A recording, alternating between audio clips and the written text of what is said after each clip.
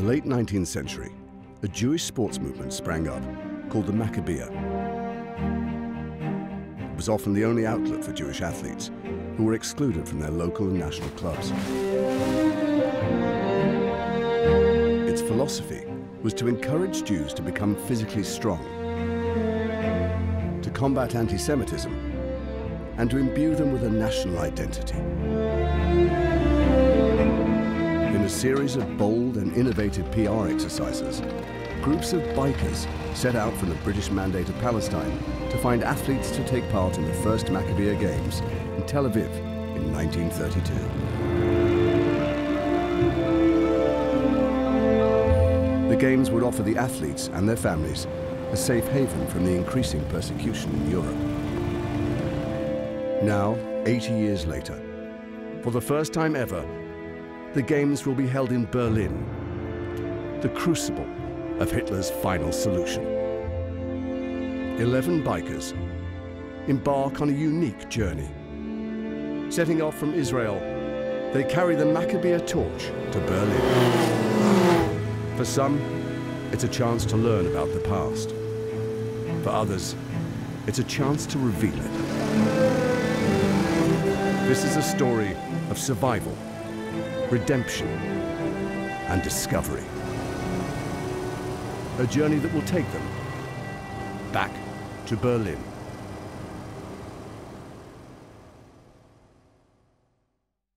Among them is Maron, whose grandfather Solomon was one of the original riders. I'm living in Jaffa. I'm an architect. In the 1930s, there were three groups of bikers that went out from Palestine through the world and through uh, Europe especially. This is, this is a picture that uh, took place, I think, uh, in uh, Montreal. This is the biker. This is uh, all the guys that uh, from the Jewish community. And basically, what's weird in this photo that this is this is my grandfather, and someone or maybe he wrote his name Solomon here under his image. He joined 10 other male and female bikers, some of them relatives of Holocaust survivors. Among them, Danny and his 78-year-old father, Yoram. I'm Danny Maron, son of Yoram. I'm a press photographer here in Israel for the last uh, 25 years. And uh, I'm glad that I make uh, this journey with my father. For me, it was a huge opportunity to understand and to know something about my father and my family history. There were two reasons why I decided to go.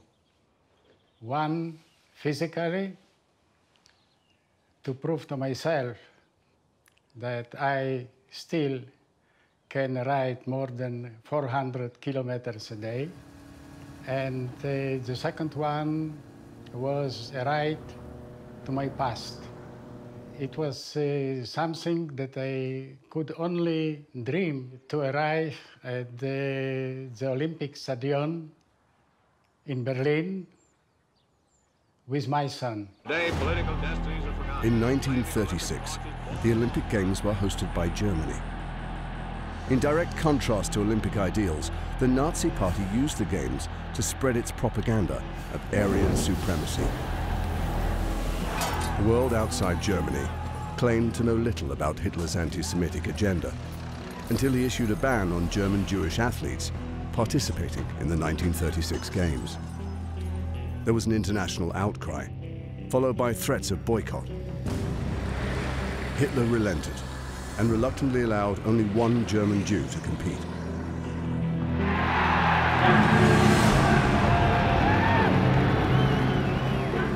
As the American delegation set sail from New York, on board were Marty Glickman and Sam Stoller, the only two Jews on the American track and field team.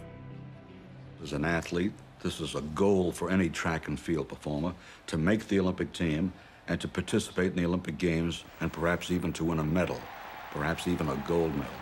I could show the rest of the world that a Jew could be just as good as anyone else. The two Jewish athletes were preparing for the men's 4x100 meter relay race when there was a shock announcement. Well, the morning of the day we were supposed to run the relay, all the sprinters were called into a meeting. And uh, Robertson said Marty and Sam are going to be replaced by Jesse Owens and Ralph Metcalfe. That was a complete shock to all of us. As the flaming Olympic torch is borne along. The ritual of carrying the Olympic torch from Greece to the host city was resurrected by Germany in 1936 to mark the transfer of power from Olympia to Berlin. For today's riders, the passing of the torch will carry a greater significance.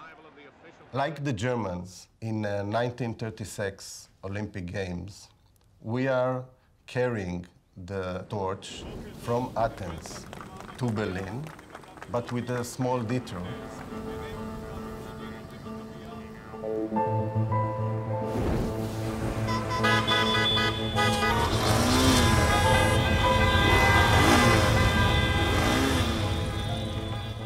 Carrying the torch back to Berlin will cover nearly 3,000 miles of roads across southern and central Europe.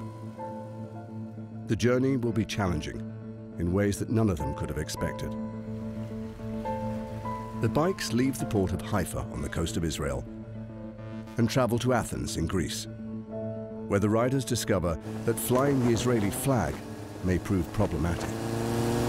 I don't think it's a good idea. Wow, I'm really sorry to say that. that's that's really shocking, I must say. Yes, and it, probably it's the only flag in the world that you cannot raise in Greece so easily.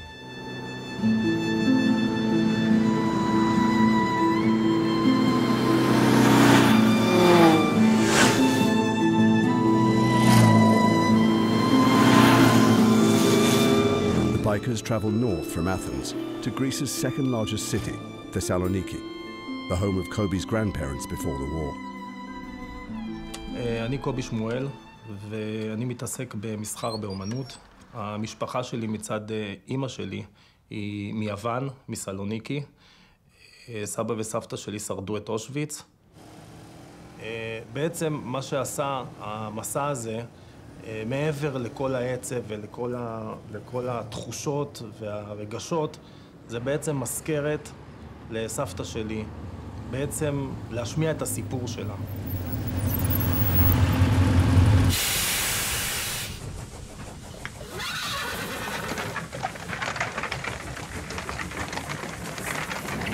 אתם אה, ידעתם שאתם נוסעים אה, לאושוויץ או לפולין או לאיזה מקום, או שלא ידעתם בכלל לאן לא אתם נוסעים? ידענו איפה אנחנו הולכים. אז המשכנו, ירדנו בדיוק בבירגנ- בבירגנאו.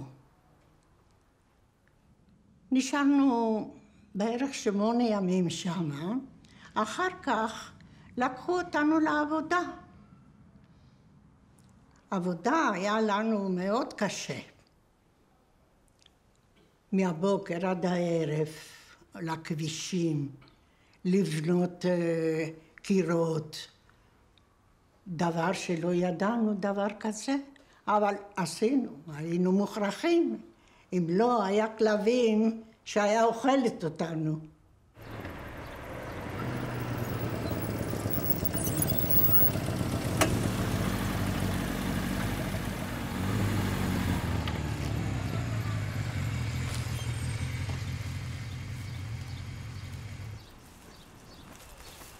היה לסבתא שלי תשעה אחים, אחים אחיות. אח אחד ניצל, הם, הם לקחו אותם והתחילו, אה, אמרו להם שהם יוצאים לחיים חדשים.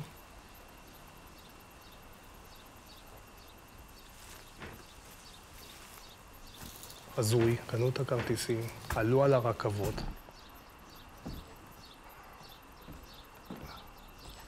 חבל שאני לא יכול לסגור פה את הדלת, אבל uh, אתם מבינים uh, מה, מה, מה הקירות האלה ומה הרציף הזה.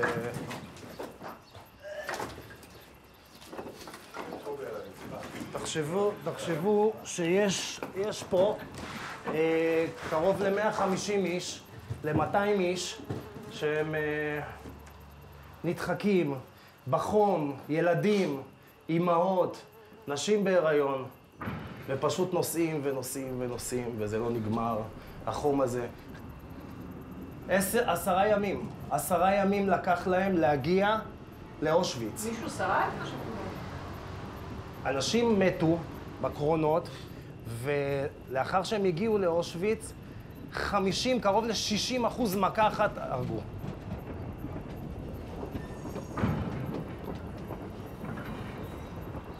אני בכוונה לא יוצא, אני רוצה להרגיש עוד ועוד ועוד את החום, הסבל הזה.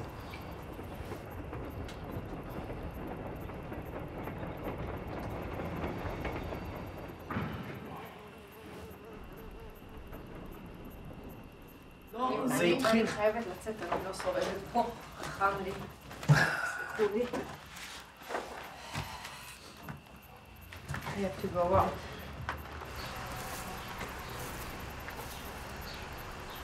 I, it was too hot.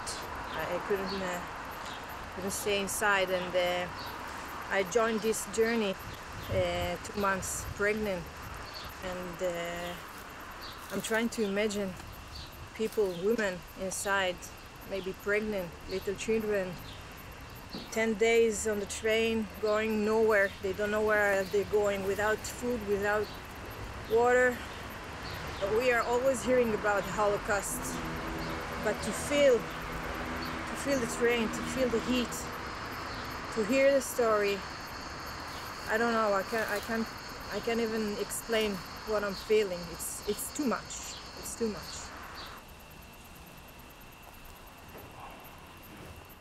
סבתא שלי אה, ניצלה, וסבא שלי. והגיעו ב-46' בספינת מעפילים אה, חביבה רייק, והם בנו את הבית שלהם שם. כשאוניית המעפילים התקרבה לחופי ארץ ישראל, הבריטים אה, תפסו את, ה, את, אה, את המעפילים עם האונייה וגררו אותה לחוף. אה, הספינה הזאת, המעפילים, היו במעצר בערך משהו בסביבות שנה בעתלית. רוב המעפילים שהגיעו מאירופה בעצם נתפסו ונשלחו ישר למחנות העקורים בקפריסין. In Cyprus, camps are bitter reminders of the recent past.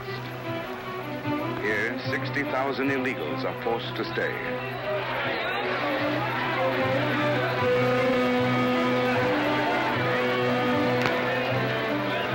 In futile rebellion, newcomers shout of Dachau, Buchenwald, Auschwitz. But it's to no avail.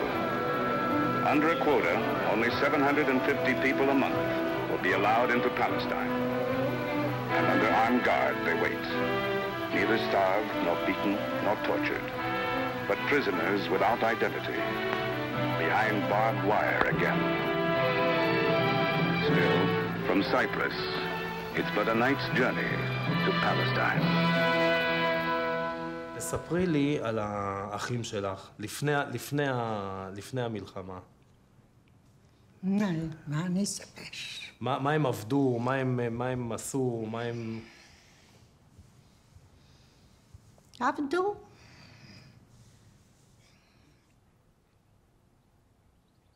נו, ש- אל תשאל לא, אותי. טוב.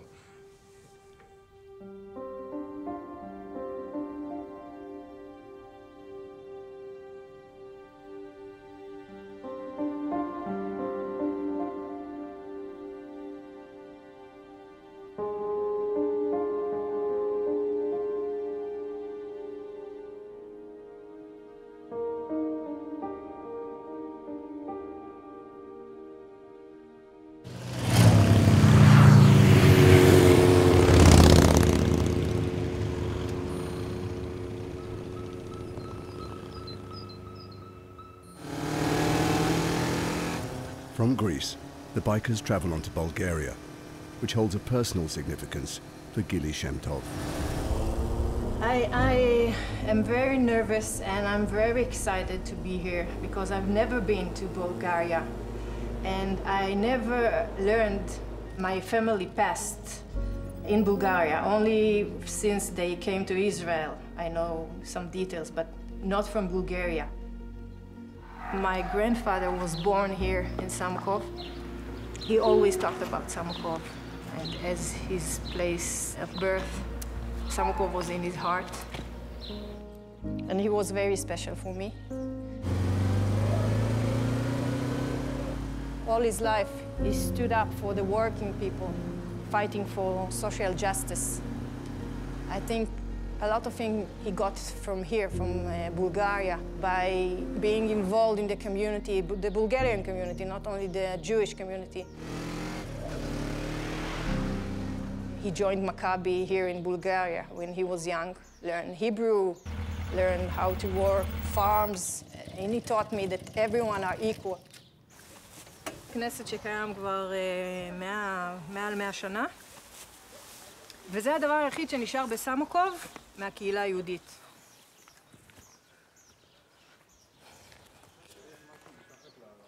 לא שחזרו את זה. כנראה. זאת אומרת, זה היה מתחת, לארון הקודש היה בטח מתחת. הציור של מה? זה נראה כמו ציור של בית לחם כזה. בוא נסתכל, בוא נראה מה הציור הזה. אה, המשפחה של סבתא שלי, אחותה, זו שגם דיברנו איתה, נשארו אה, בקיוסטנדיל, הם היו חלק מאלה שקיבלו את ההוראה לארוז ולחכות למשלוח. אז סוכם שהם הגיעו מיהודי בולגריה. ונחתם הסכם סודי שבעשירי למרץ שנת 43 יישלחו כ-9,000 מיהודי בולגריה למחנות, לפולין ולגרמניה, להשמדה. הם כבר ממש קיבלו בעשירי, בתשיעי בערב הם קיבלו הודעה גם כאן בסמוקוב ובכל מיני ערים הם קיבלו הודעה, הייתה פה, רוכזו באיזשהו בית ספר כאן, חיכו לעלות לרכבות, הרכבות כבר היו בתחנות. וזה היה עניין של כמה שעות שגם הנוצרים וקיריל ממש נעמד באחת מתחנות הרכבת, לפני הרכבת, מול החיילים הגרמנים ואמר פסוק מהתנ"ך, באשר תלכו אלך, your people are my people, your God is my God, ולא אפשר את זה. וכעבור כמה שעות הגיעה המשטרה לכל המקומות שבהם רוכזו היהודים, אמרו להם אתם משוחררים, אתם יכולים ללכת הביתה, בוטלה ההחלטה. עכשיו, אם, אני חושבת שאם קהילות אחרות היו מתנהגות ככה, אולי היינו שומעים על עוד הרבה סיפורים אופטימיים כאלה. זה אי של שפיות בתוך הטירוף הזה שהיה במלחמת העולם השנייה, כן. זה באמת סיפור.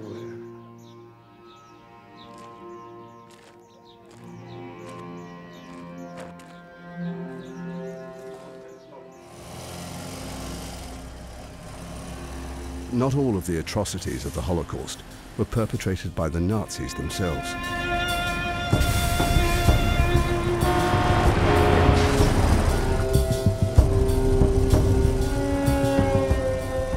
As the bikers cross the border into Romania, they're met by another rider who will join them on the next leg of their journey to Berlin.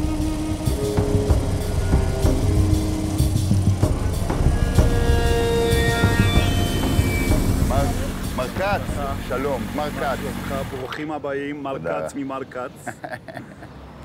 I am Maximilian Marco Katz.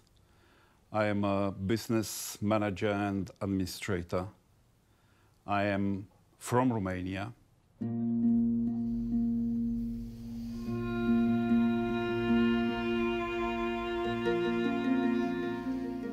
What happened in this synagogue in January 1941? It was that my grandfather, Marco Katz, the one that I made, named after, he was here praying together with other Jews from Bucharest.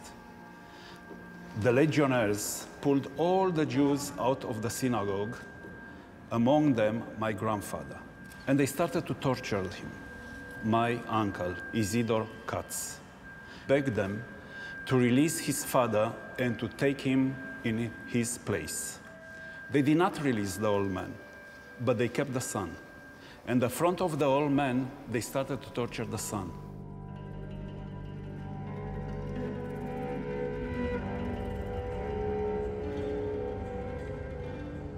The Romanian fascists took Marco's uncle, together with 155 other Jews, to one of their centers for torture, Jilava Fort number 13.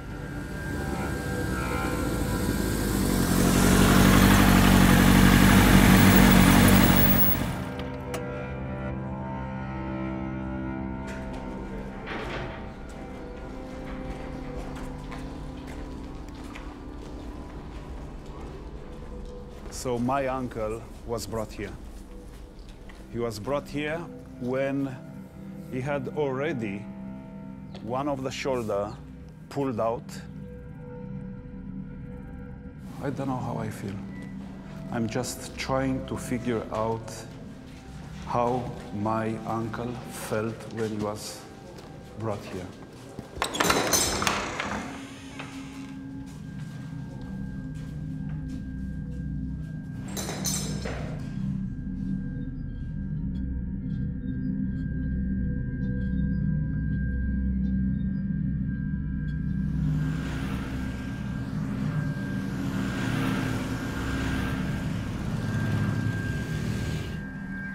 Brought from the fort here, stripped naked, beaten up, and then shot in their heads.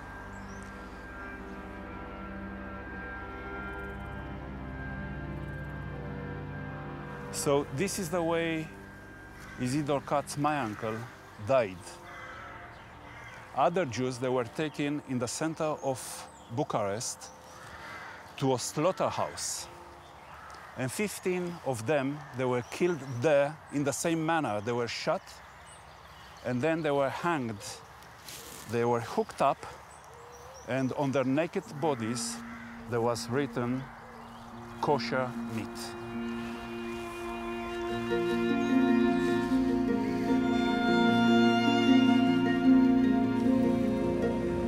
So my name is Yaron Munz. I'm a surgeon.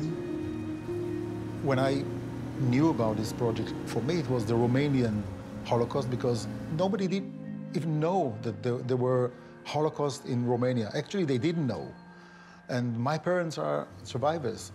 So I, I felt the Holocaust my, uh, when I was brought up, you know.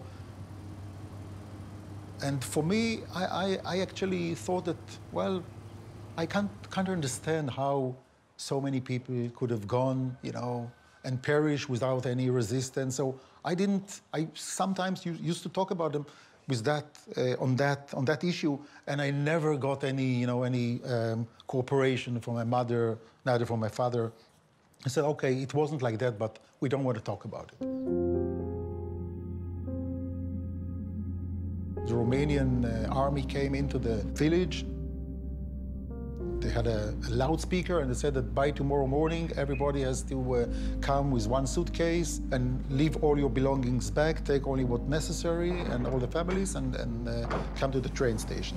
This is how it started.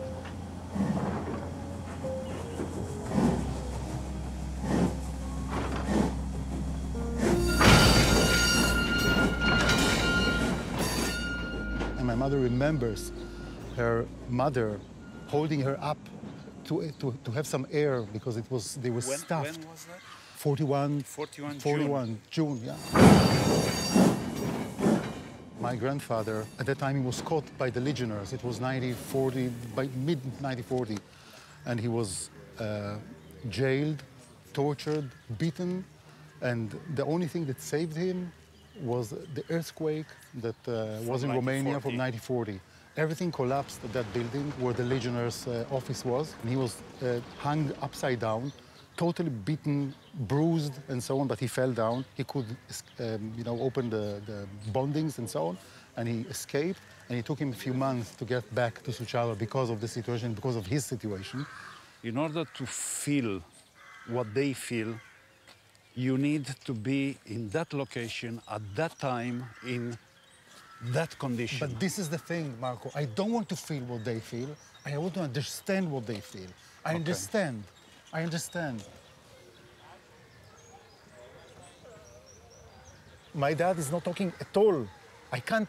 And he, whenever I, and I talk to him, and he's totally clear in his mind, he, he, he doesn't he doesn't He talk. refuses. He, kind of refuses to talk about it. It's a black hole.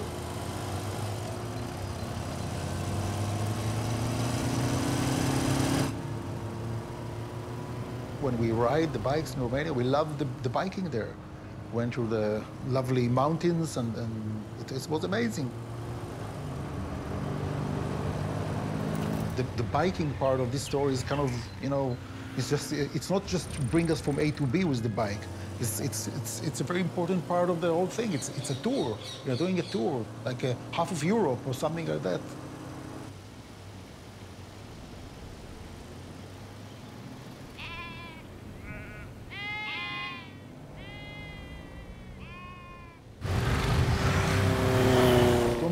to, to, to make my story bigger than any story. I think all the stories in this uh, tour are small stories that are part of the bigger picture. All the stories were horrific and the same. It's like the same. It's just different people. More people died in one place than, than the other, but still, it was the same, same, same Holocaust.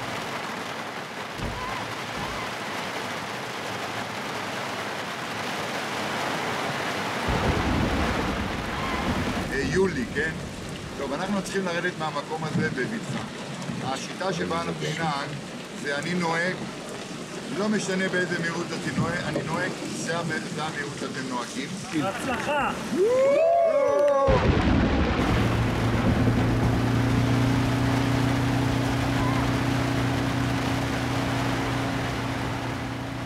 When the 1936 Olympics ended, Hitler ramped up his campaign against the Jews.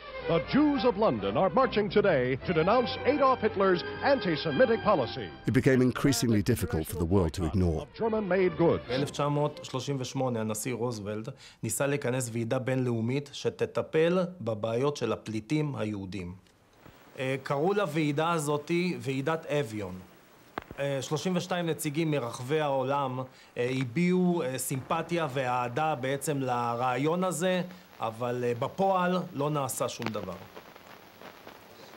בעצם העולם סגר את הדלתות שלו בפני יהודי גרמניה ובכלל בפני יהודי אירופה.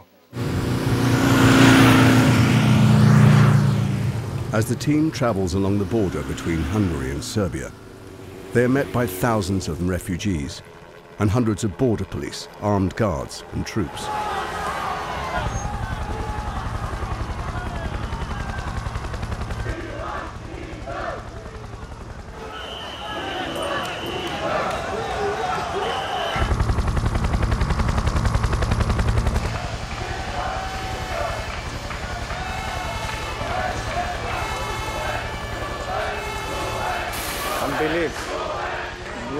Country, a border like this.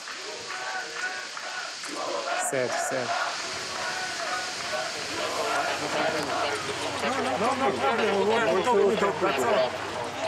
We are from Israel. I know. Yes.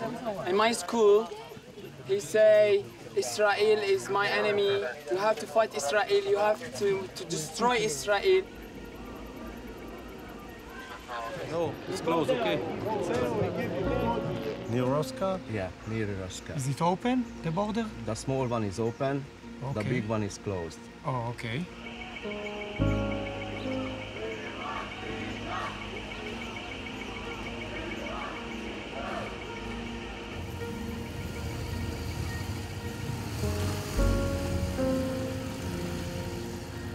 It's not a biking uh, trip. Was really a journey for, uh, for every one of us. All the time I heard my grandfather in my head and tried to, uh, to connect to his experience along the way. But the difference between then and today is uh, those days they could uh, go up on their bikes and just drive, you know, around the world without any customs, without any borders. They went to Alexandria, they went to Libya, to Lebanon. Uh, even one expedition I heard that uh, went uh, through Syria. אני רציתי להעניק לך את עץ הריח, איך אתה אוהב אותו? אני אוהב אותו, הכל מלא. שלוף אותו, לא, לא צריך חצי-חצי. והבאתי לך וינטג' בבקשה. אני מלא התרגשות, אין לי אה, חיבוק, אני מלא התרגשות. תודה רבה, אני בהחלט אה, אשמח לשים... לא, אה,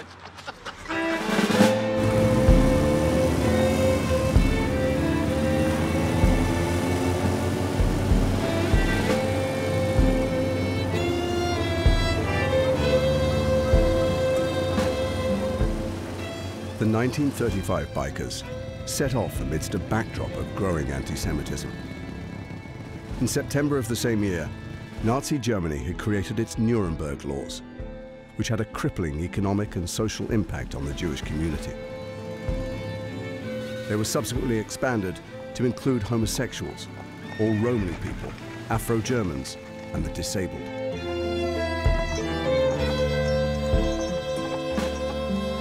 These people became what Germany called enemies of a race-based state.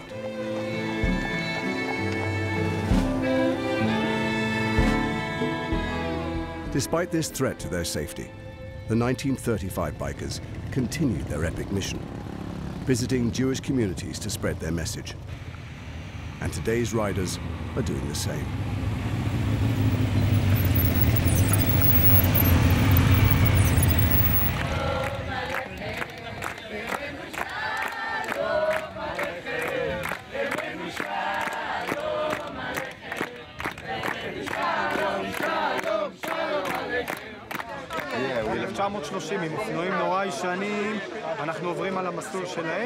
ופוגשים כל מיני יהודים וסיפורים בדרך. כן. אנחנו כמעט שבועיים. וואו. באנו מישראל. שנייה, איך הגעתם מישראל ליוון? מישראל ליוון באנו על אונייה, שמנו את האופנועים על אונייה, כן. פגשנו את האופנועים, והתחלנו לנסוע, סלוניקי. אתונה, סלוניקי. כמה קילומטר אתם עושים ביום? עד עכשיו, אה, ביום? כן. ביום בערך אה, 500. זה כיף לא נורמלי. מה? אנחנו נגיע בערך עוד שבוע לברלין.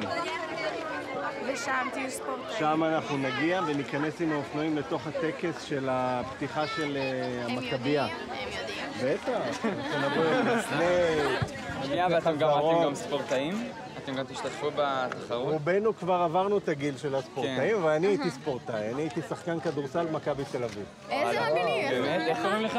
לא, לא ידוע, זה היה לפני המון שנים. קוראים לי גל, גל נורא. My mother is never speak about the Holocaust. Never. Because it don't want uh, I am involved um, emotion about that. After years, I am starting to ask the questions about the, the Holocaust. It's coming for me. This is, I think, it's better. Wow, it's alive! We ride with the Israeli flags on. What do you think the response we're going to get? Um, some people might not be Yes, happy, and some some. people might just, you know, okay, Israelis. I'm a mother of two children, boy and girl, Jade and James. Uh, I'm a farmer. I have a personal connection to everything that happened with the Maccabiah Games. My grandmother was photographed with those bikers that came to Lithuania to tell about the Maccabiah Games. To think that after I got involved with all this journey, that uh, to think that my grandmother actually met those bikers for me was a huge, huge excitement. My grandparents left Europe from Lithuania uh, just before the Holocaust, and they left when they uh, realized that uh, Europe became too dangerous and too difficult uh, uh, for Jews. They made a choice, and the choice was to look at what's happening and move on and find a new place for them to live in. And that decision saved their life. Their entire family was destroyed in the Holocaust.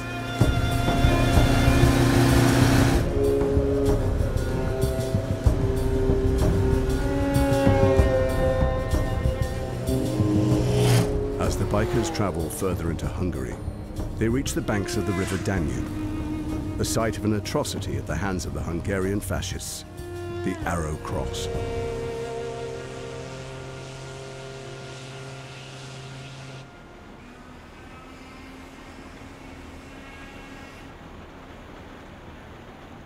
They meet Alex Rosenkrantz, whose mother survived the events at the Danube in 1944.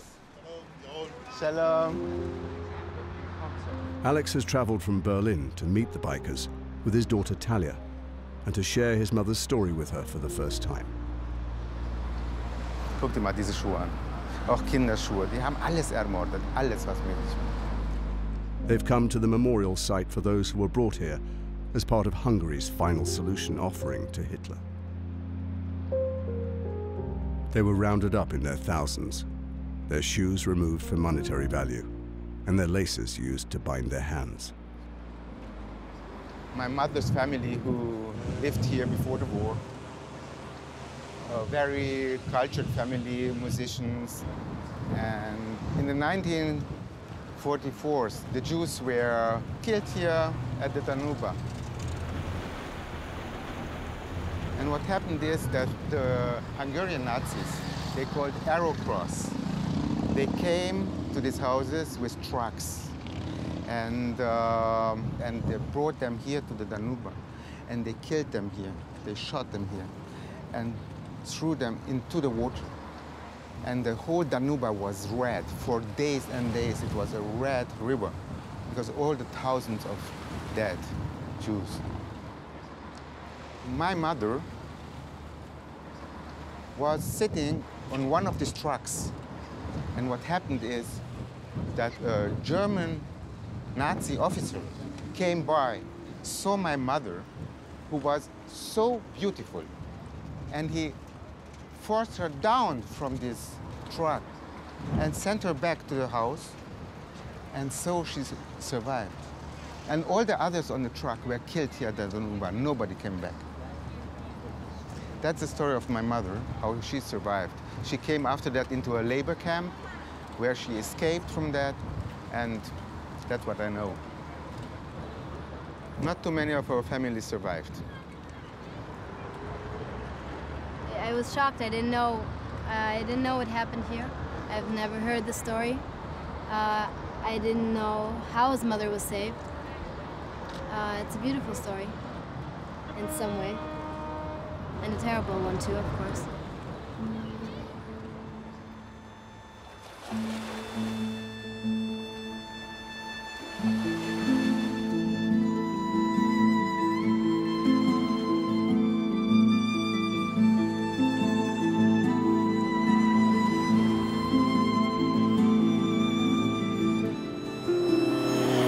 As the bikers travel in convoy through Budapest, their presence causes concern for the authorities, and a police escort is provided. I wasn't happy with the police escort that come with us in Greece or in Poland or in Hungary because I want to know what will happen if we will drive with our flag, with the Israeli flag, by ourselves all over Europe. And I was curious to see if something happened.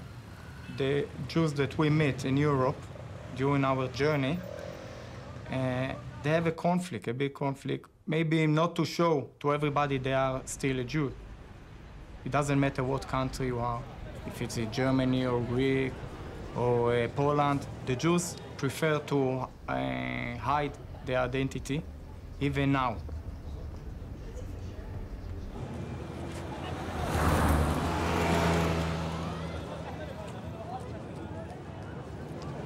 Ladies and gentlemen, uh, dear friends, uh, warm welcome to uh, the motorcyclists uh, from Israel. It's a great honor and pleasure to welcome you here um, on your way to Berlin. You riding in Hungary with the Israeli flag, it's something else. It shows that in spite of everything, we are here. Welcome. Everybody would like to drink something, so we would like to offer you uh, Hungarian beer, zero alcohol. Zero alcohol. So it's not a beer.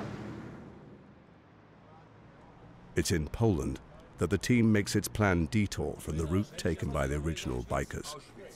To visit a place their predecessors could scarcely have imagined.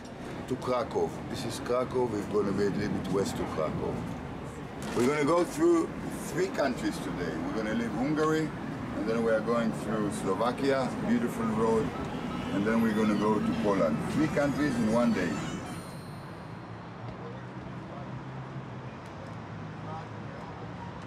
לא יודע איך זה יבוא לי.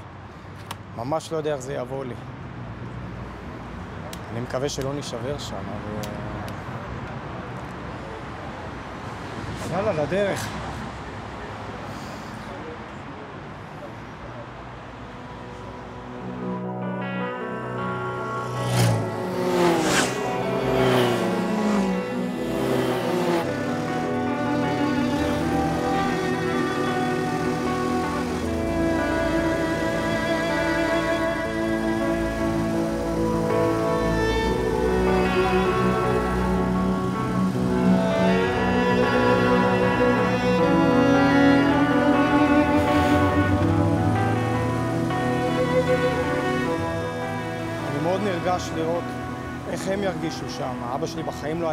היה באושוויץ. זה סמל, זה סמל של כל השואה לדעתי.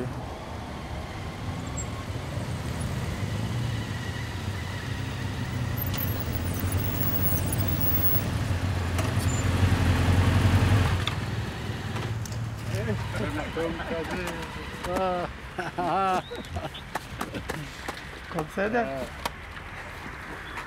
מתרגש? מאוד.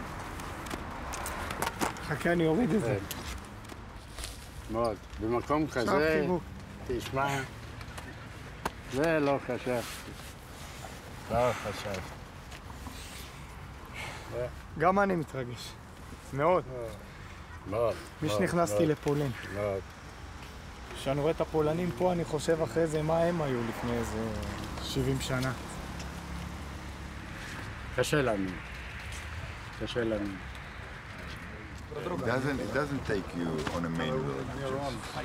How are you? There are no main roads in Poland. There are just small roads, small roads. Lots of family Yeah, there. Small roads, Yeah. small roads, small roads. So you don't, you don't come in from Canada to here with a motorcycle. I tried. That's why. Not today. I'm from Toronto, Canada. My family originated in Poland. I was born in Sandomierz, which is uh, east of Krakow.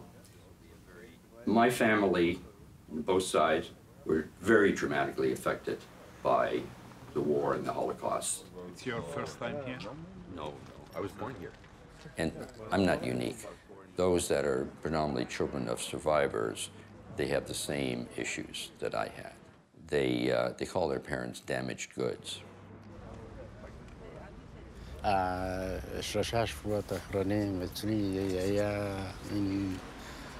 קשה לתאר. זה, זה, זה בלתי אפשרי. זה, אני רואה בלילות, אני שומע את הצרחות, את... זה, זה נוראי. ומסתבר שאני רואה דברים בפוקוס. את הפרצופים של הגרמנים אני זוכר. ואני חשבתי שאני כבר מזמן, מזמן קברתי את זה. זה, אה, אבל זה מושך, זה תמונה אחת מושכת את התמונה הבאה, ותמונה הבאה, ותמונה הבאה.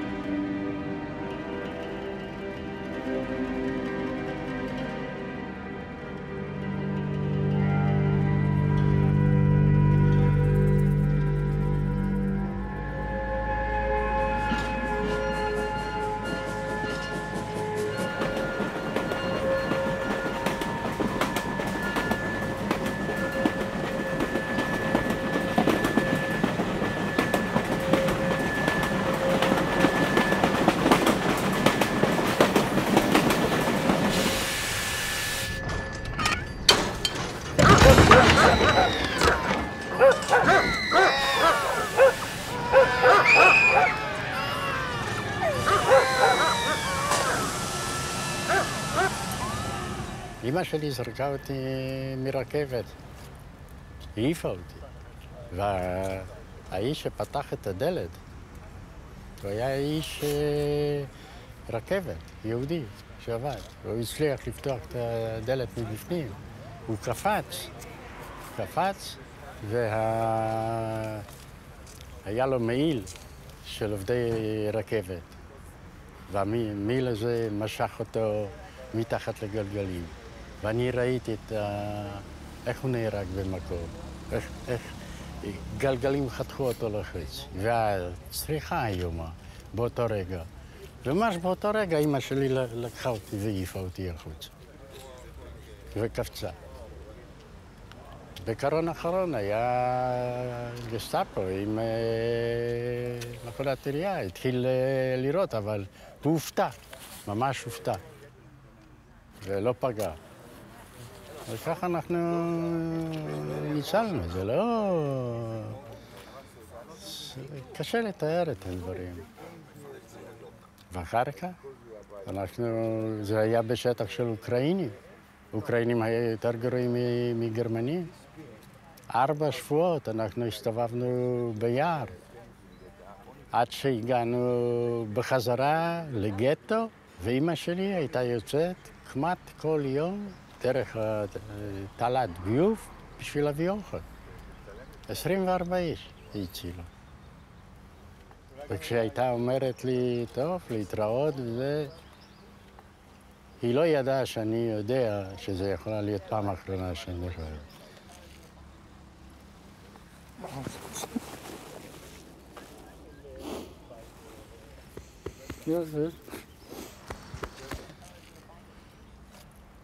אנחנו כולנו פה.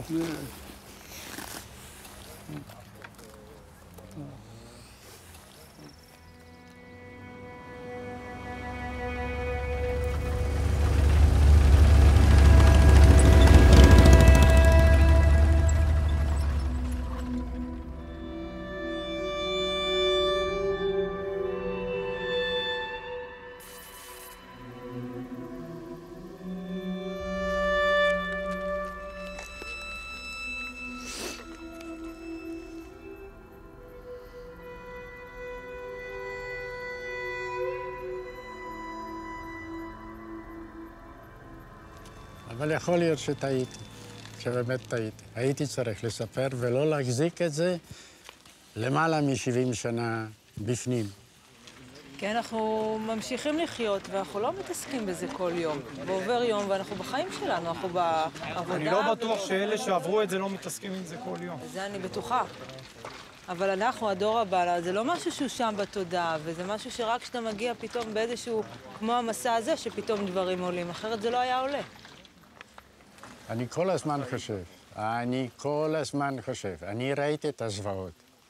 בתור ילד, בגיל שש, שמונה, אני ראיתי איך גרמנים הורגים עם נעליים אה, תינוקות, במו עיניי. אני ראיתי את הדברים האלה. אני ראיתי איך דרכו על זקנים וירו בהם בראש.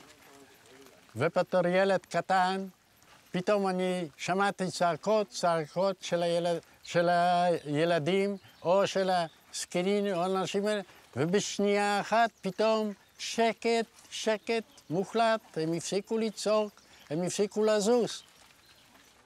כל החיים אני סוחב את זה, אני רואה את התמונות, אני לא יכול להיפרד מזה. זה בלתי אפשרי. לא רציתי לספר שהם יסחבו את התמונות האלה כל החיים שלהם.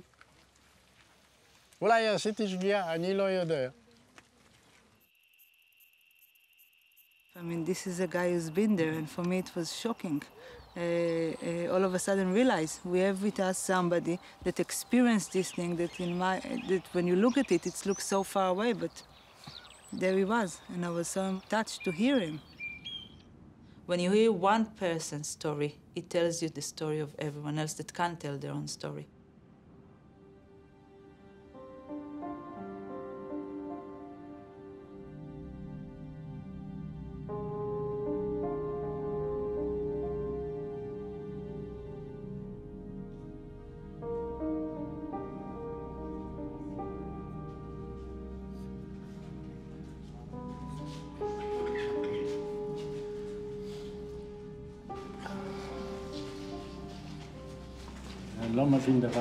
מי שראה את כל הזוועה הזאת, איך הוא עדיין יכול להאמין באלוהים?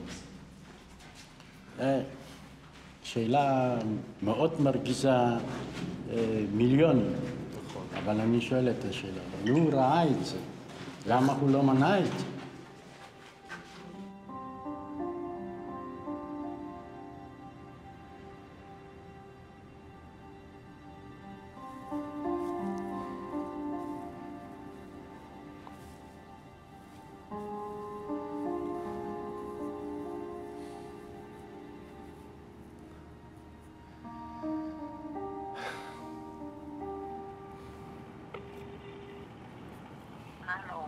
העניינים, אמא? בסדר, מה קורה?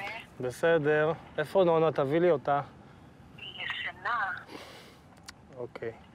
אני נמצא פה בבריקנאו, ורצו, זה לא נתפס. בלתי נתפס. זה לא נתפס. אשכרה פעולה שטנית. כן.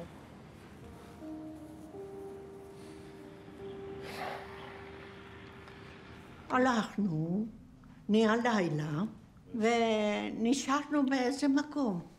ואחר כך, אאושטיין, קומי, קומו.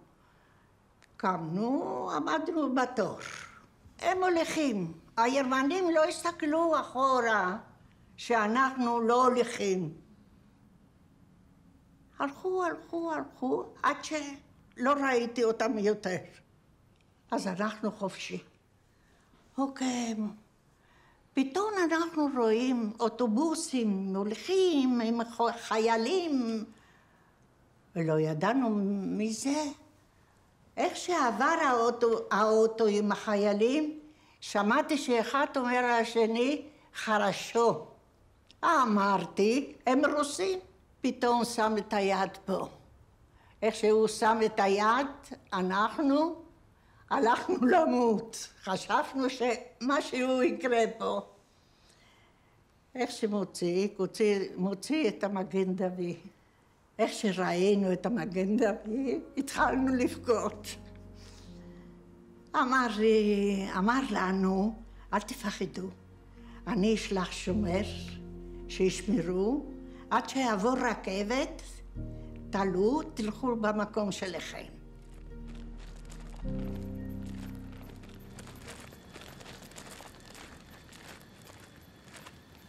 קובי, בוא נוציא את הצדפים שהבאנו מהחוף של אה, יפו, לישראל, תל אביב. שהגיעו כל הדרך... אה, כל הדרך אצלנו בכיס.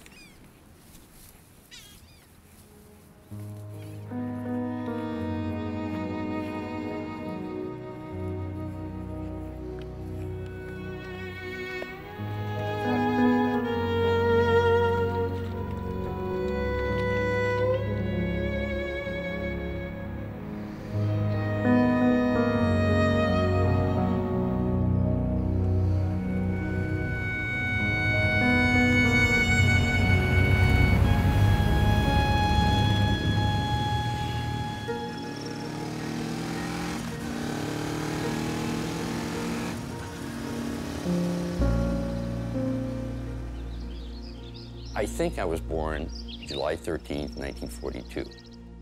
And my mother at that time, knowing what was coming down the pipe, made arrangements, because she had blue eyes, blonde hair, made arrangements for phony ID to give birth at the convent hospital in Sandomierz.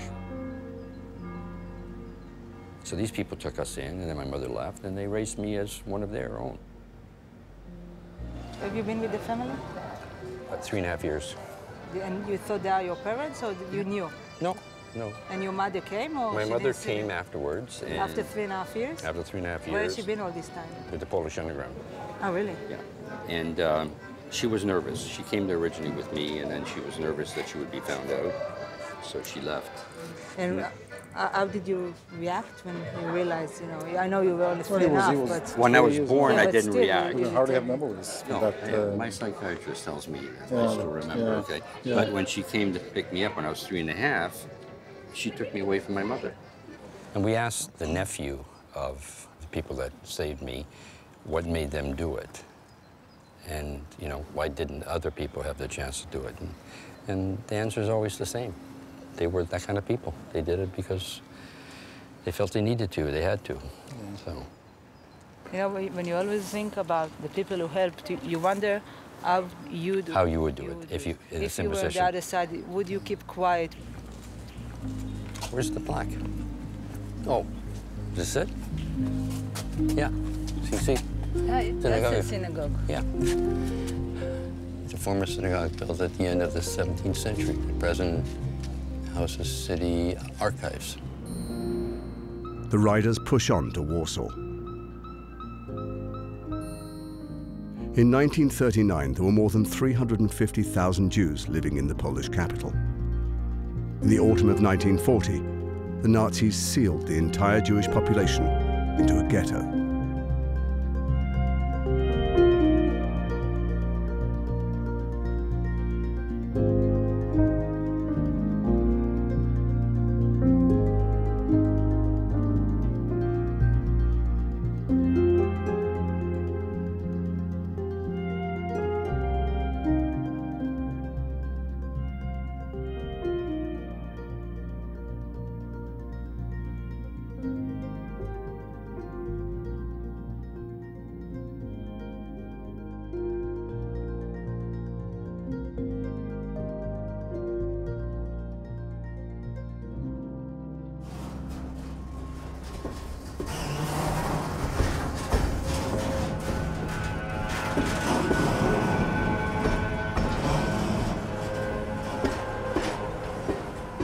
How they went like uh, cattle to the slaughterhouse. We cannot now judge them and we cannot put ourselves in their position in those days because uh, I, I'm not sure if uh, I were in this, uh, in this era, uh, how I uh, supposed to react. Now cope with it. The remaining prisoners of the Warsaw Ghetto realized that the deportations were sending people to their deaths. In January 1943, after smuggling in handguns and small explosives, a tiny resistance group fought back, seizing control of the ghetto from the Nazis. Three months later, on the eve of Passover, the Nazis mounted a massive counterattack. They bombarded the ghetto and razed it to the ground, murdering anyone they could find. Meanwhile, delegates from Britain and America met for 10 days in Bermuda to discuss Hitler's plans for the Jewish people. Despite the horrors unfolding in Europe, no agreement was reached and no action was taken.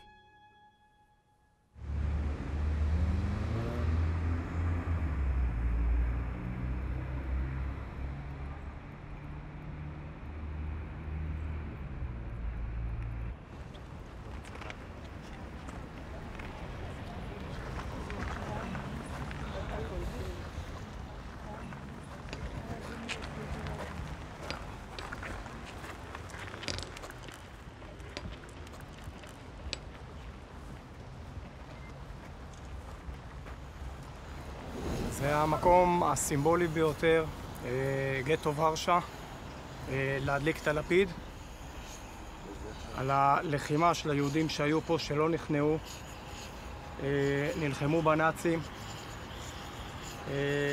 עד שלא יכלו יותר ונהרגו.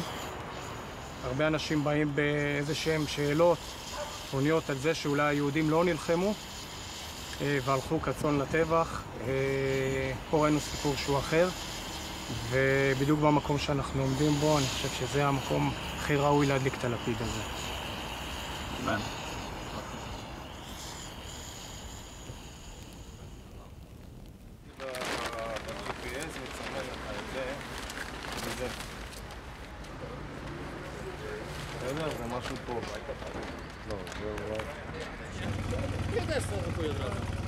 הוא שאל מה התוכנית שלנו בוורשה.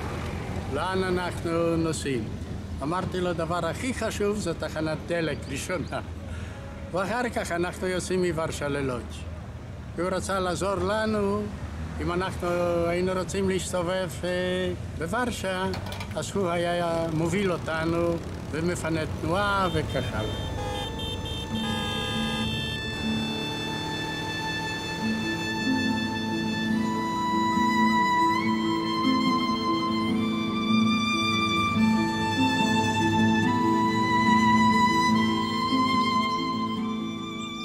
Prisoners at Lodz Ghetto were forced to manufacture goods and weapons for the Nazi war machine. Survival was based on ability to work. Lodz was one of the last of the Jewish ghettos to be liquidated.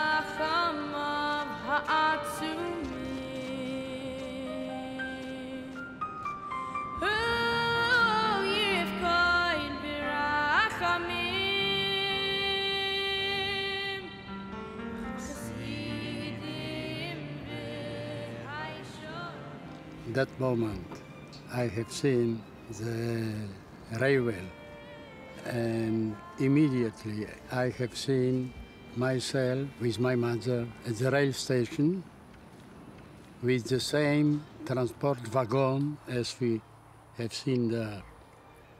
And I was ashamed. I wanted to escape from there.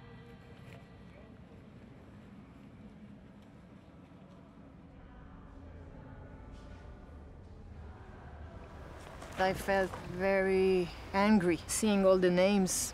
Like you want to help them and say, stop it. People that were sent to death only because they were uh, Jews.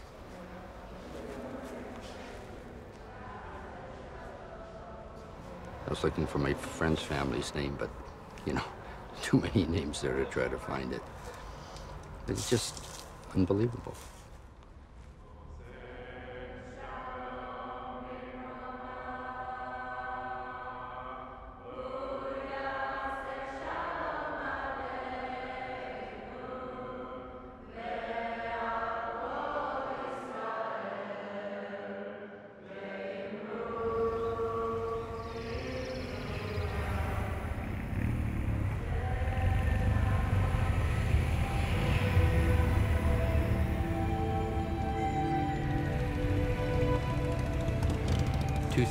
Get me here.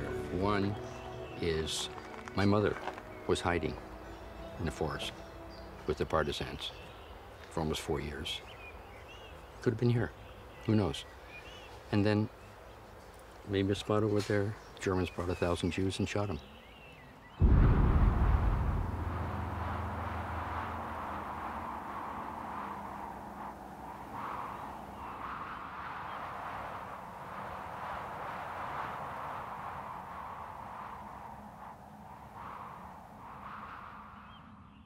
When I see these guys here, these 45, all going on 50 young Israelis, that's one of the reasons that it's not going to happen again. They won't let it happen again. It's interesting to experience this on a motorcycle. You know, I've experienced it a lot of different ways, never like this. So, The most important thing for me is really to feel free driving a bike. You really escape from all troubles you may have.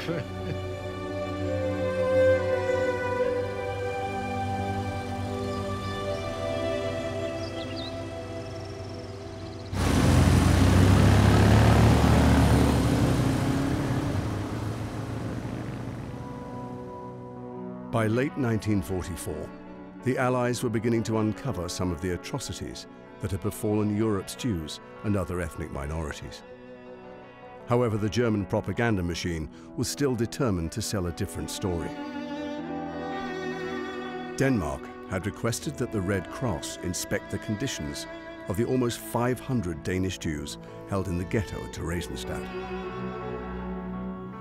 The Germans gathered their healthy Jews together, dressed them in respectable clothing, beautified the camp, and readied it for inspection. A propaganda film was made at the same time. This is the Nazi propaganda film to show the world how well Jews were treated. Two Jewish teams had to play each other, and four of them was the Maccabi players, and that was in 1944.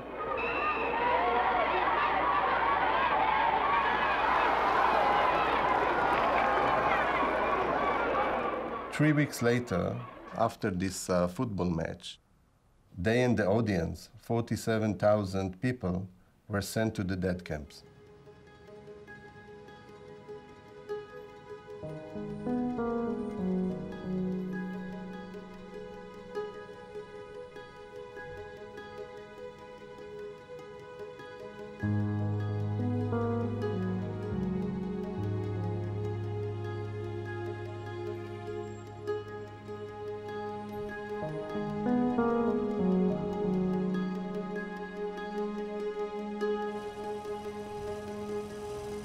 Pause a while as you pass by.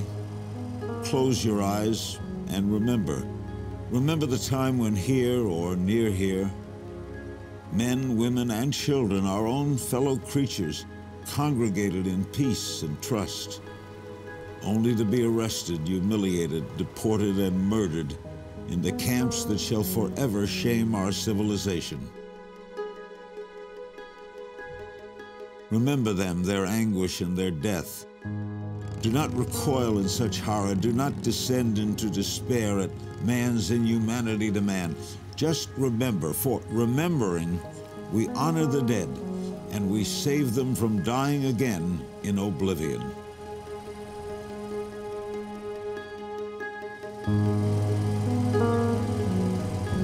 After 24 days, traveling through eight European countries, the riders are on the final leg of their journey.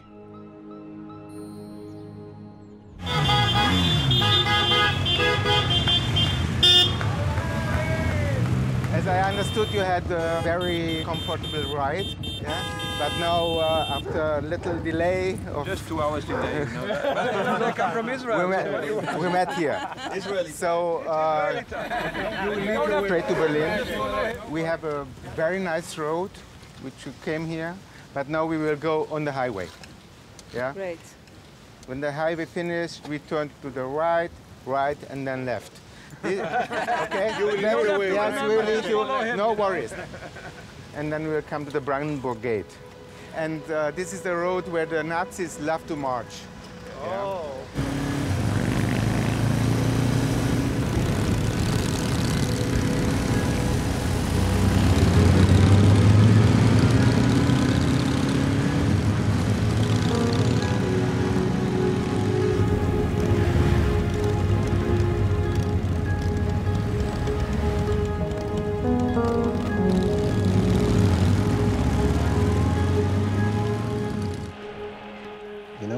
particular moment when we saw Brandenburg Gate, everything exploded.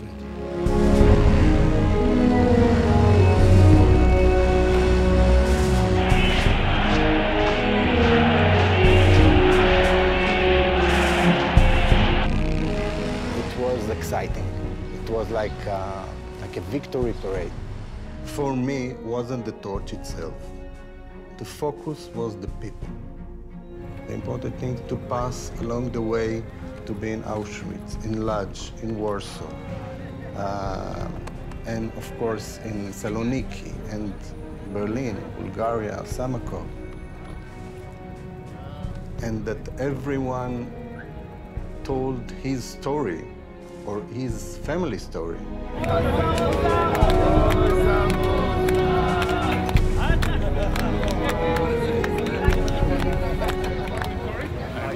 happy and I hope that this is a sign that never again follows us. Of course, I admire my father more, much more, when I know the history. I can see that, for my mind, he's a hero.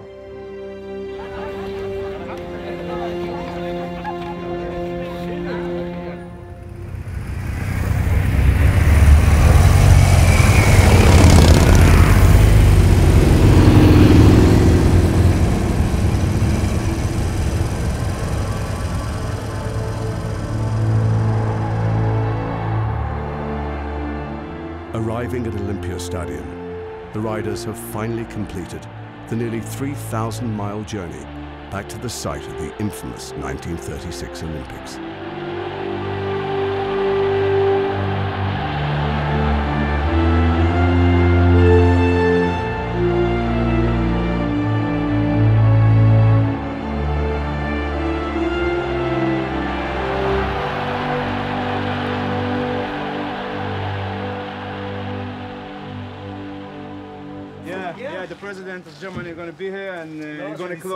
This uh, VIP uh, block. And then we're going to park in two lines, okay? My cousin was not was uh, supposed to My run grandmother here spoke eight in the 36 Olympics, and they wouldn't let him run.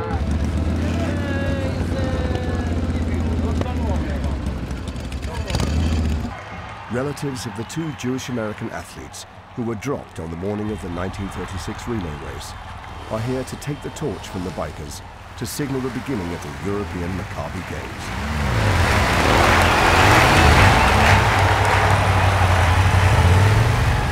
As the bikers enter the stadium, Sam Stoller's cousin passes the torch to Marty Glickman's daughter. who is proudly wearing her father's original 1936 uniform. Nancy Glickman, please light the torch.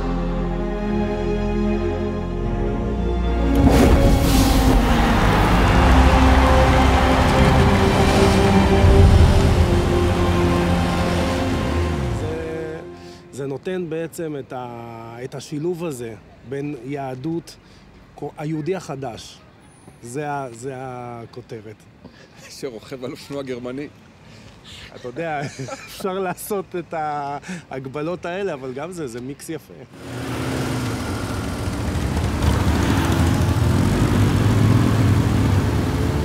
About three years ago, I found out about all these biker stories, and I thought that as this is the first time they're going to have the games in Germany, it was going to be a historic moment in time to come back here and to light the torch.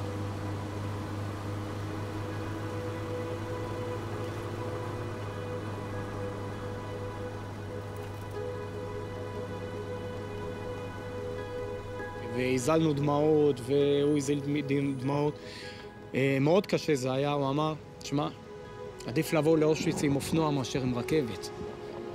זה מספר את הכל.